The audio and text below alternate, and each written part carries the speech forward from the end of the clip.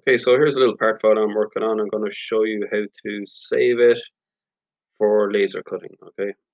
So I'm just right clicking now, just giving you different views of it here. I copied and pasted four holes to the slot. The slot is wide enough to house a gear.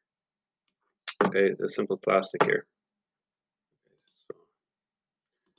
Small enough part, as you can see. Need to make sure that you save it as your name so that the person cutting it knows who they're cutting for, makes life easy for them. And then you simply go up here to export and save it as SVG onto your computer somewhere or onto a USB key. Most of the time it goes into downloads, but you can select a folder for yourself. Okay, thank you.